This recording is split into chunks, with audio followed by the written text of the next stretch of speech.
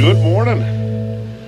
It is a little after 5.30. We're looking at 16 degrees Fahrenheit. It's 23 degrees in here. Pretty chilly. Just turned the buddy heater on to take the chill off and I got the coffee going over there. Really nice night of sleep. It was kind of sleet and rain, freezing rain for the first hour or so, and then I just kind of fell asleep. I got pretty far into my book. Kind of like a wet air today, cold, wet air. It was pretty cold getting out of that sleeping bag, to be honest with you. So coffee's on. Gonna cook up a nice breakfast, drive that into me, drive that coffee right into me too. And then haven't really made a plan for today yet, so I still got a lot to do around camp to get it ready before the fellas show up, before the special guest shows up. Brandon and the boys, hopefully Brandon's crew rolled in last night. He's got a big crew coming in and I think they're going to try to fish across the lake so they're going to drill their way across make sure it's safe. We think it's safe but we're not entirely sure. And so we might be looking at some whitefish and lake trout. I was going to leave this area alone for a day or two till my buddies got here so that way I didn't whale on some of their fish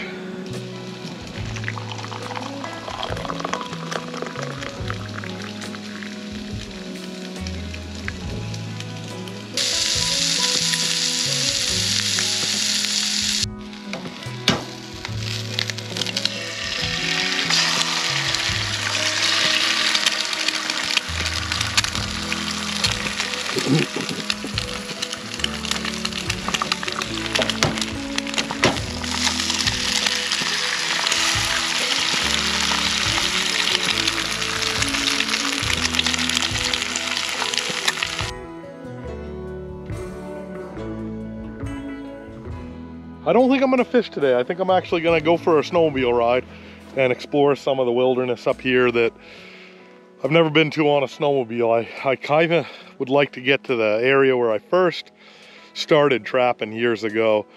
I gotta go, uh, first I'd have to go east, south, hard west, and then west again after I cross the, the major road and see if I can get down Trapper Joe Road and Camp Carnage Road and explore a little of that territory. See if I can see maybe a couple moose or see what the wildlife's doing and see some tracks. Should be all fresh tracks since uh, early this morning when the snow stopped. But should be should be a fun day. Kind of itching to get the snowmobile out on some virgin snow and and uh, go do some solo exploring on some old logging roads. So I'm thinking about getting west of the Telos Road. Yeah? Yeah. And I used to trap over 15 miles over that way. Yeah. So I'm thinking about taking a ride out in that country. I'd like to. I want to ride today. I'm only going to fish for a while. Yeah. I'm going to run back and just top her off on fuel just to make sure because I might Yeah. do something dumb today. I might end up down Millinocket on a snowmobile, who knows. But I figured I'd take a ride. I What? think the ice is better here than over there. Is it? What do you got here? I bet you're close to 10 inches. A little better than yesterday? Oh, it felt like we was drilling for a week after yesterday. What a beautiful day, Oh, though. and the, track, the whole thing you got to Got the old cat power out. I'll tell you, Joe, she's a gem. I don't care what these guys say, she's a gem. I heard she got a little scared of the slash.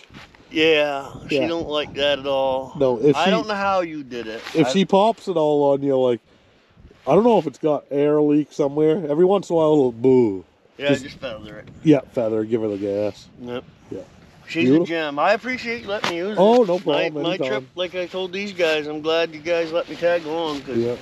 my trip would have been done. Done. I'd have been going home. Yep.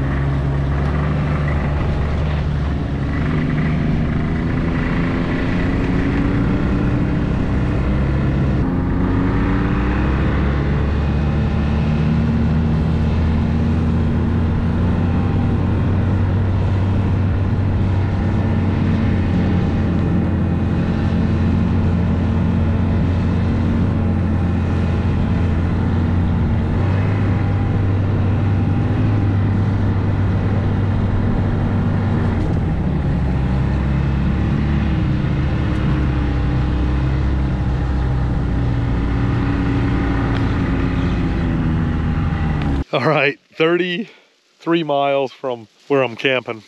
And this is this spot right here. I wasn't sure if I could make it here due to roads growing in and trails and stuff like that. But this spot right here is pretty hollowed ground to me. This was the original Camp Carnage. And on the map, this is Camp Carnage Road. And I had a camper set up there as the first camper I ever owned. And I tore it apart, made it into a trapping shack. And I used to come up here and spend three straight months, October, November, December, right here, trapping and hunting every day.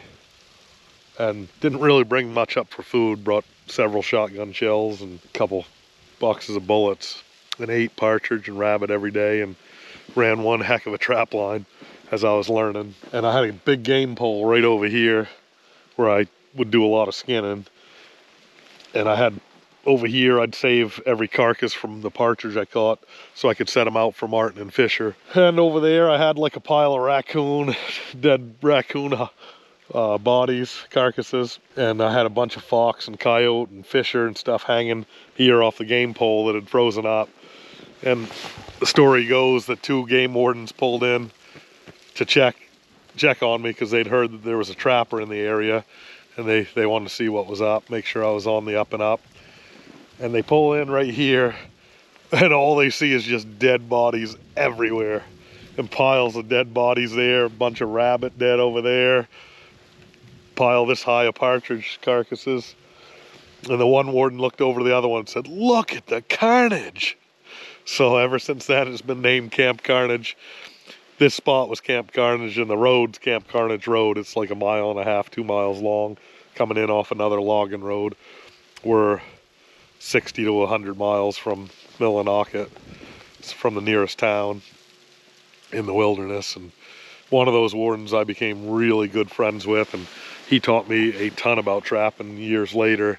And we stayed together up near Clayton Lake and ran a real decent trap line up that way. But I figured I'd stop here and do a little reminiscing, share a little of those stories with you guys. I actually caught a marten right there in one of those trees, a pine marten, which they call a sable. It had come into camp to rob some of those carcasses. Once that smell permeated out out of here of death, they they seemed to find it, and he would rob me of uh, partridge carcasses every day till I I ended up getting him in like a number one Victor uh, long spring in a in a tree. But pretty awesome spot. I wouldn't sell those memories for a million dollars. It was some of the best times I've ever had. Scary, you know. I had a truck that I think I had a five hundred dollar truck the second year I was here. The first year I had I had a truck that was two wheel drive that uh, that scared a lot of people that knew I was up here. And then the second year I had that I was in this spot, I had a four wheel drive, but it was a five hundred dollar truck, standard transmission. I remember I'd have to pop the hood every day and clean the mice off the the cowling. The mice would make a nest on the on the warm truck every single day after I'd park it. But I made it out. I had one year, uh, they called for like, I think six inches of snow here. And I woke up at like two in the morning and it was, it was snowing golf ball size snowflakes. And I said, this is going to be a big storm. So I picked up everything I had in camp, tore down the game pole, and you know took an hour and a half or so to get ready, get everything ready to, to boogie on out of here. And I started towing my camper out. By the time I started towing, I had that two-wheel drive. I had chains on it and weight in the back of it, and I was pushing snow with the front bumper, and it was getting up in my radiator. I had to be careful not to overheat. I had to get out and clean it a couple times, and I'd made it about probably eight miles to the to what's called the Telos Road, which is a main vein for log trucks that they were going to plow eventually. I knew they were. And this was like, I think, handy to Christmas, might have been after Christmas. So around the time I was going to leave anyway. So I parked the camper there for, just left it hooked up and slept in that and read books. Couldn't couldn't move around because the snowstorm ended up being close to four foot. And through some game of telephone, my dad had called the warden just to say, hey, I know they got dumped on up there, just checking to see if, if you heard anything from them. You know, he was worried.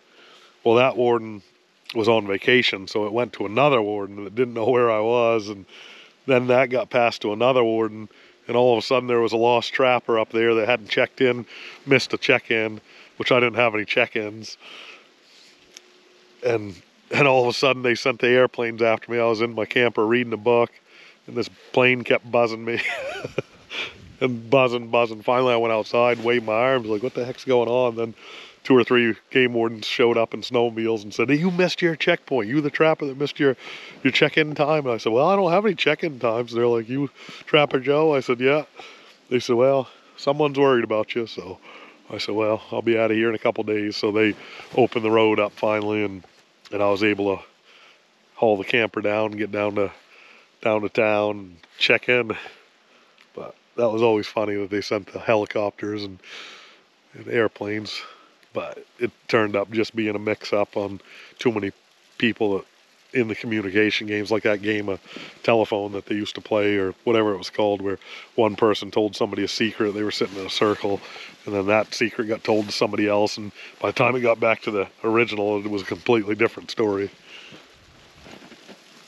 so i'm gonna i'm gonna sit here reminisce and remember some great old times and drive a real nice hot cup of coffee into me and then I got a couple other spots I want to check in this territory where I used to trap. Just see what it looks like and, and uh, get close to some real good memories.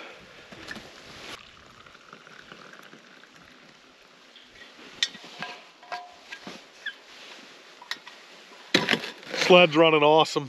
It's uh, it's really good going right now. We have probably probably two foot of snow it's packed pretty good, so it's not too bad a fluff. Sometimes you hit some fluffy spots. But these wide skis I put on, the skins, really make a difference about keeping me up floated. And it's like having a set of training wheels for someone who's not very uh, experienced like myself. So it makes the going a lot easier and it's just really nice riding right now. You can go as fast as you want on these log roads. You know, I used to, you know, in a truck you can't even go as fast as you can go in a snowmobile.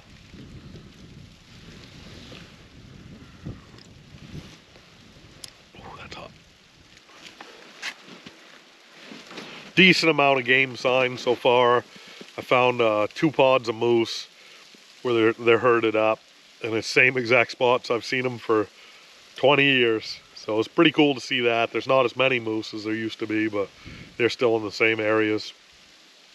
Saw one fresh coyote track and one fresh marten track. And that's been about it. So not a lot of game moving around overnight or in the area anymore. They cut so hard nowadays. It's really terrible how they, they cut. They cut a lot of the habitat that's needed like the spruce and pine and hemlock. You know, a lot of that softwood makes for really good wintering areas for these animals and provides a lot of home for squirrels and then the squirrels get fed on by the marten and fisher and deer will, deer used to winter here too but they're they're not around anymore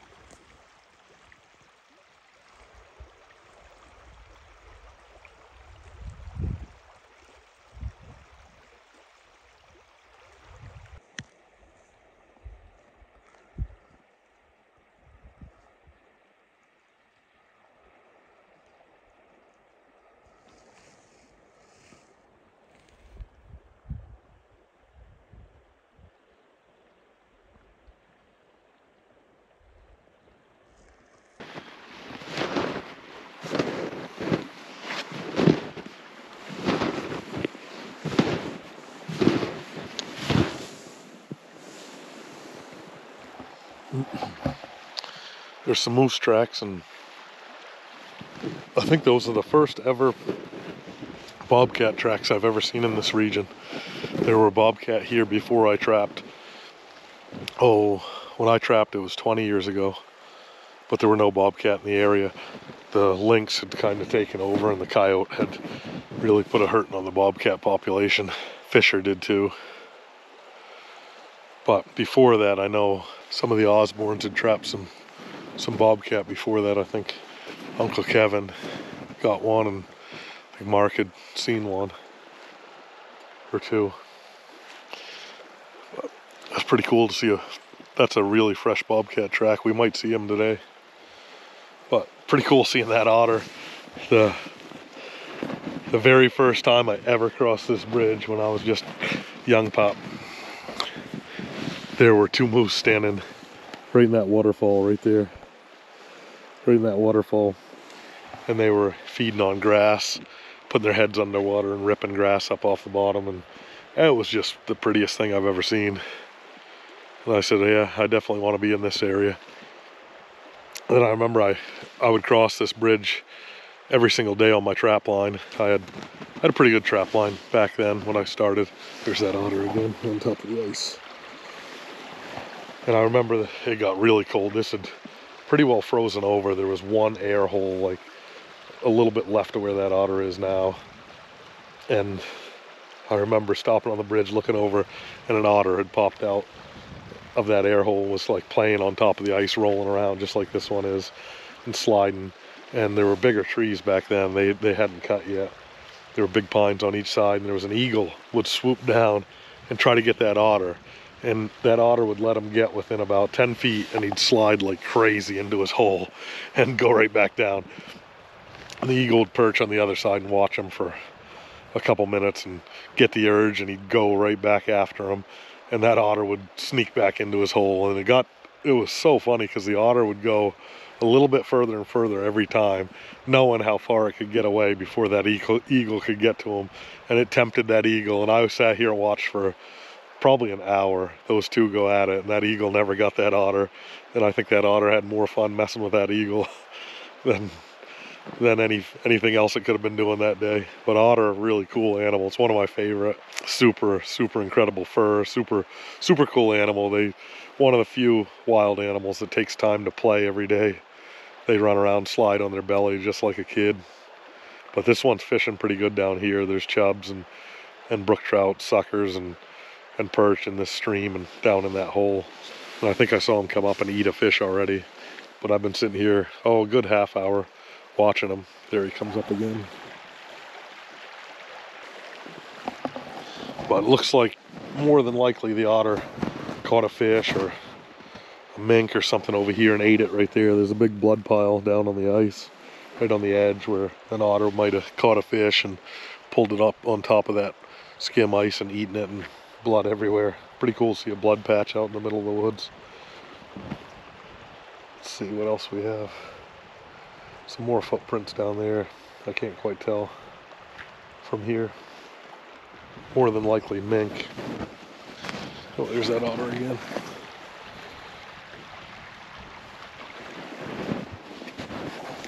Let's continue on.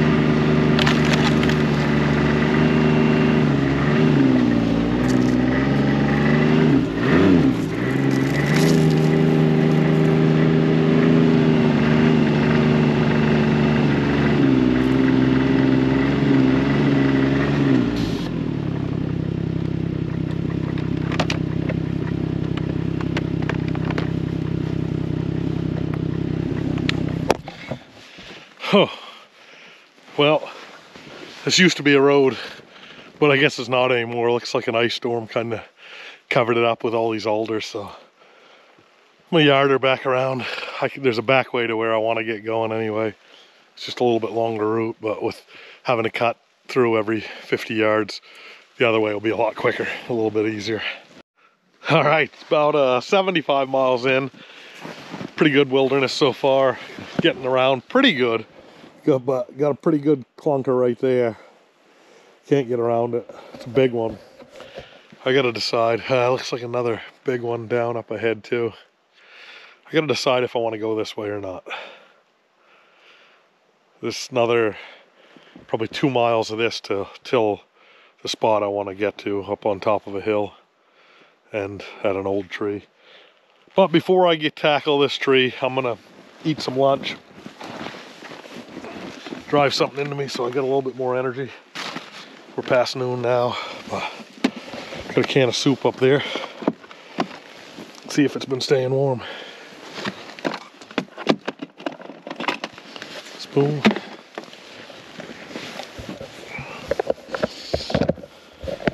You don't even have to use a can opener anymore with these things. Well, that's a Campbell's Chunky Sir Lion Burger. So I'm guessing it's lion meat. Lion meat's good for you. Put hair on your chest.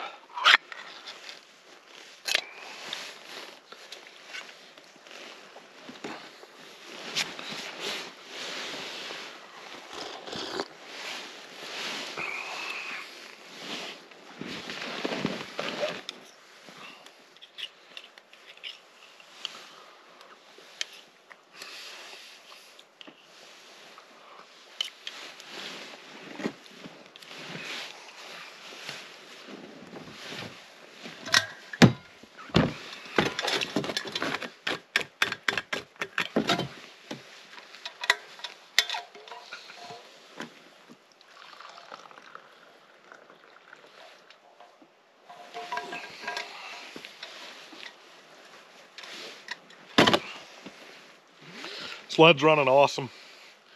This is the most unbelievable sled I've ever seen.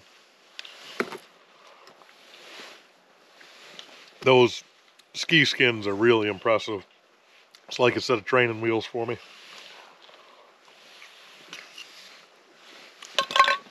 That's good soup.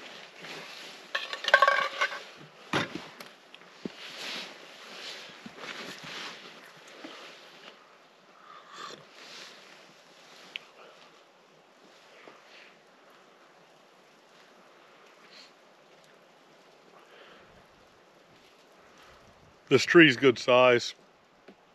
Looks like a fir tree. Gonna have to cut it twice to get through because it spans so far across the road. I can't lift the top of it.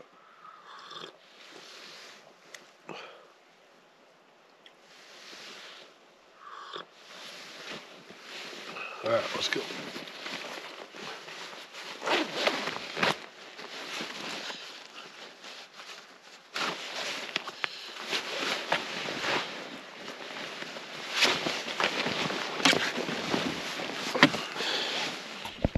All right, got it limbed a little bit and got through the first section.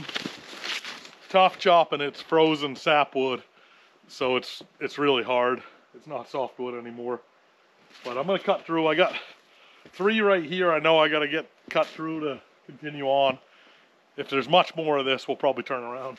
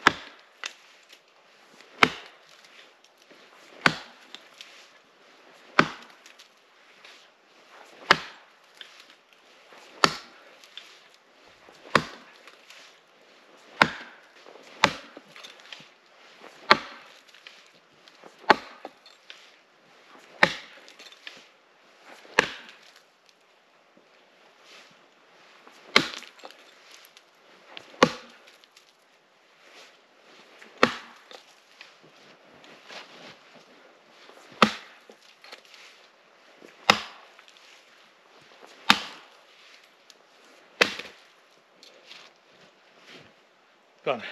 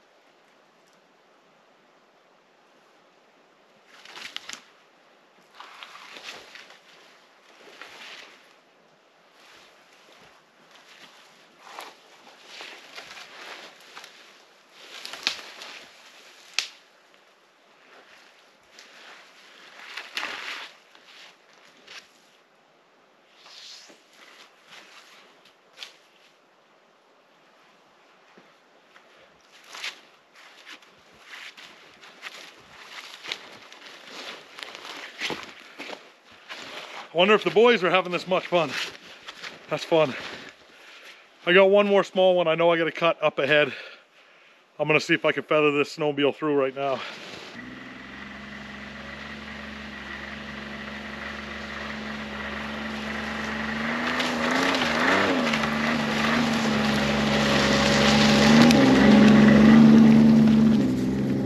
No problem.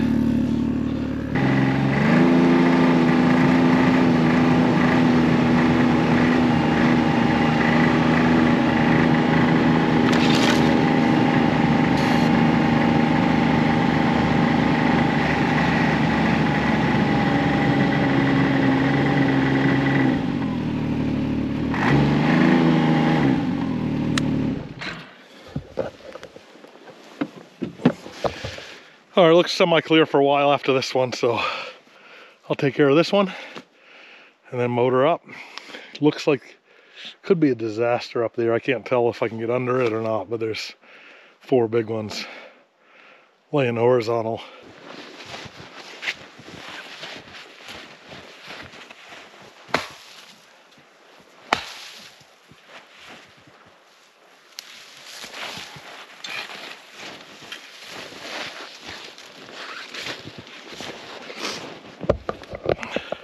That bigger one was pretty tough because the sap was frozen inside the wood, dead frozen. Can be tough to chop. It doesn't it doesn't come apart too easy. Uh, that one's the Brant & Cochran. It's pretty close to three pounds. Uh, could use a little bit heavier, but it's it's fine for a lot of the smaller stuff. I think it's two and a half or two and three quarters, but that's the Allagash Cruiser. Worked pretty good.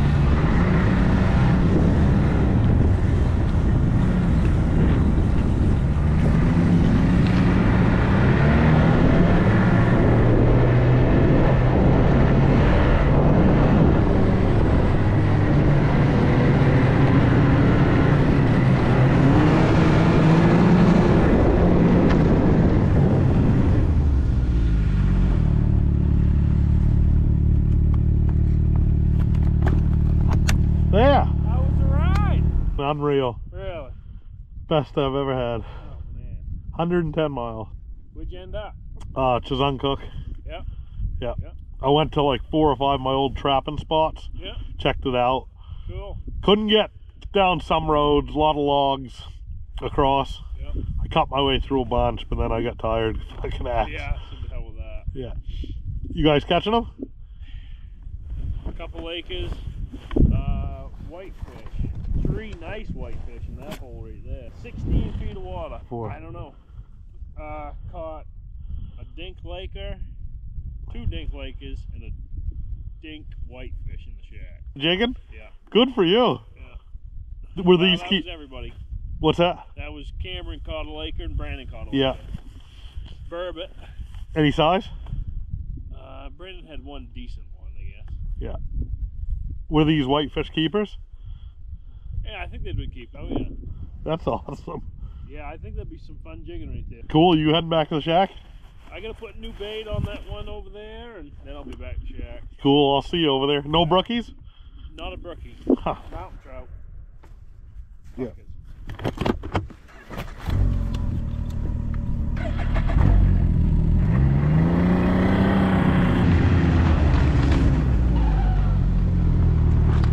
any snow? Uh huh. Find any snow? Oh yeah. It looks it.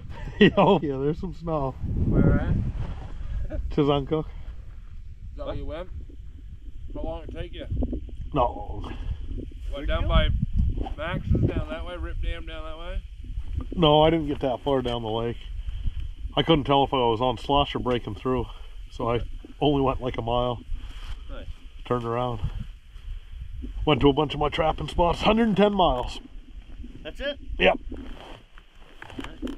I thought that was pretty good. Just a hobby. Yeah, it was fun though. I mean, the friggin' ride is couldn't be any better. There ain't been nobody on the logging roads have No, you break trail out of the way? Yeah. I had to cut a lot of trees. Really? Yeah, I got tired. I know I oh, I couldn't get to one spot I wanted to go because I I cut like four trees with the axe like that big. Went like a half mile and there's like ten trees that size. I was like, you got it. I get there, but not that way. But it was fun. Never saw another person. Saw an otter and a rabbit. Rabbit, yeah. Yeah. Little Bugs Bunny. Yeah. I have the rabbit. We can have rabbit tonight. I probably could have run it over, but I stopped because I was thinking there might be a fisher behind it. But nothing came. I didn't wait too long.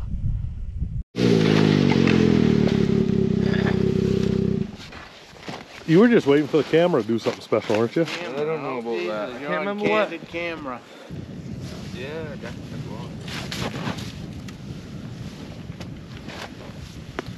What do you think, Brandon? Huh? Uh, I think I'm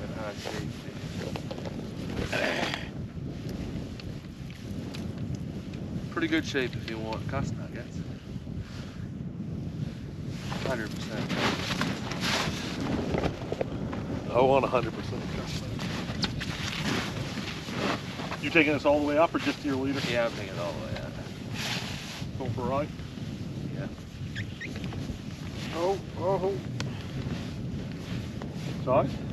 Cusk nuggets. That's what I said. I'm Supper.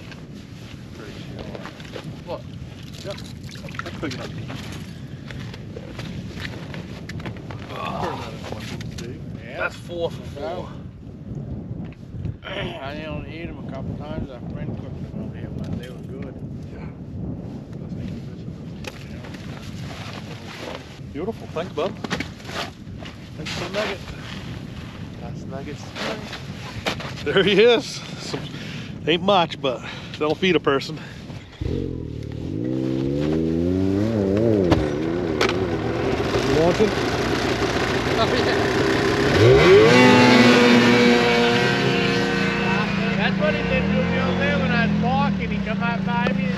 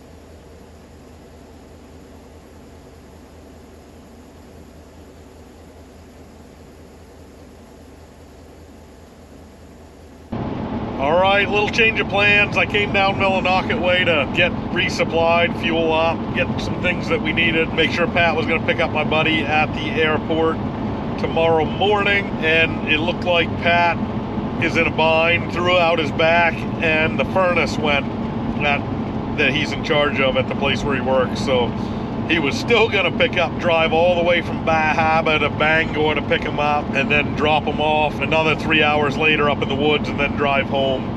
That's just a great friend right there, man. They don't come every day like that. But I said, no, I'm not going to let you do that. So while I'm out of the woods, I'm going to head Bangor away and either sleep in the truck or do something, and I'll pick up in the morning and we'll start our trip. Like I said, he was supposed to fly in last night, but his flight got canceled due to the freezing rain and bad weather. So I think he's going to extend his trip an extra day on the back end. So we should be able to get four days on the water.